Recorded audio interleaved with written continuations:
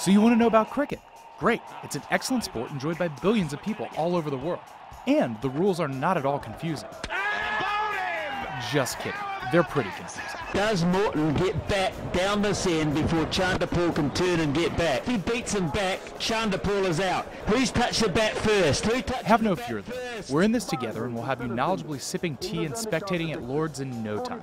Okay, so first of all, let's get one thing out of the way. Despite the shared batting of pitch balls and affinity for standing around in fields of grass, the sport has very little in common with baseball. Sorry to disappoint, Americans. Still, though, we'll use America's pastime as the starting reference point for convenience sake. Because, well, it's awesome, and the two do have some things in common. In baseball, the game is played within the confines of boundaries that determine whether a hit ball is fair or foul. But those don't exist in cricket. Instead, the entirety of the field is in play. A cricket field is made up of a large grass oval with a 66 foot long playing area, or pitch, in the middle. Applied to baseball, this setup would have made Carlton Fisk's home run a lot less memorable. No dramatic waving declaring the ball fair at all. Set up on both ends of the pitch, the part in the middle, are what are known as wickets. Wickets are made up of three wooden poles, called stumps, which are hammered into the ground and connected on top by two horizontal wooden pieces, called bails. Among other things, the wickets are the bowlers, think pitchers, target, but we'll talk more about wickets later. Cricket teams are made up of 11 players. All 11 play the field and all 11 bat, most of the time. While cricket has innings, technically, they're very different from the sets of nine innings that most Americans are used to watching. In most types of cricket matches, the type you're most likely to catch on TV at least, the teams bat only once. That's it. Two innings, one time through the batting order each, for all the marbles. But there's a catch, pun intended.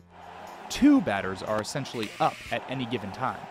And each batter, or batsman in cricketese, continues to hit until they're out. How do batsmen get out? Good question. There are a few different ways. First, if the bowler, again, the pitcher, is able to knock down either a stump or bail on a bowled ball. That is very good. The batter's strike zone is anywhere within their reach. If the ball is pitched beyond the batter's reach or behind the batter, in his natural stance at the wicket, then the pitch is deemed wide, think like a ball in baseball, and the batting side is given an extra run. This ensures the fielding team bowls towards the batter and is not just chucking the ball in his general direction in order to get through the set number of overs. We'll explain overs in a minute. Second, a batsman is out if a hit ball is caught in the air by the opposing team. Should be out. The third way a hitting batsman can get out is where that second batsman comes into play, and where cricket gets exciting. While one batter, the striking batsman, is being bowled to, the other batter, the non striking batsman, stands by the wicket on the opposite side of the pitch. Each time the ball is put into play or hit, both batsmen run to the opposite side of the pitch as many times as possible. Each time they both do so successfully, it's a run. If the fielding team is able to throw the ball at the wicket, knocking down a stump or bail, or if it's thrown into the wicket keeper or bowler, who then does the same, before that batsman makes it back to the end the ball was thrown to, then he is hmm. out. Now, yes, that all sounds very technical, but it essentially boils down to throwing a ball at a stick to get a guy out. Four ball, Clint. Hit him, Matt. Oh, it's out. And, as we said up top, this game is exciting. There are even home runs and grand slams.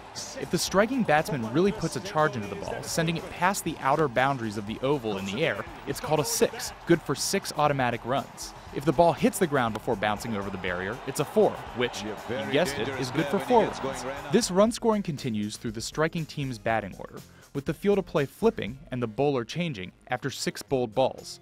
In cricket terms, that batch of six is called an over. In most one day matches, a cap of 50 overs is placed on each team, meaning essentially an upper limit of 300 bowls per inning. When a team hits that cap, no matter where they are in their batting order or with their run total, that inning is closed. In addition to reaching the set limit of overs, an inning can also end with 10 of the team's 11 batsmen eventually being retired. And the game will end if the second striking team scores enough runs to reach or beat the first team's score. The second team is essentially chasing the first team's score their entire inning. And that, ladies and gentlemen, is cricket. You now know enough to take in all the cricketing action your heart desires without feeling like a complete novice. Pretty cool, right? Put a break on. Yes? No? Well, hopefully that's an affirmative. But if this is all still too confusing for you, just remember there's always baseball. A simple game that hinges on a human umpire's arbitrary, often inexplicable calls. The throw, and they got him. No! He called him An archaic set of unspoken rules and And he's traditions. got too much pine tar. And, and somehow, uh, even more nuance and room for interpretation than its distant British cousin. Dominguez has a rundown going. On Much easier to follow. that way. What an unusual way to turn two.